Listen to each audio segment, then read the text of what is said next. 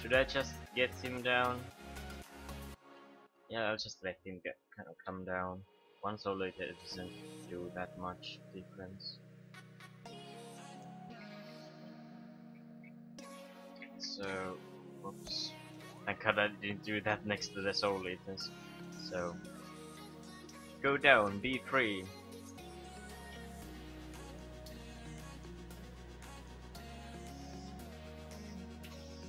Doesn't he? Yeah, he doesn't, attack soul eaters, by the way. So yeah, he stays there until he dies. Oh no, man, he does attack eater.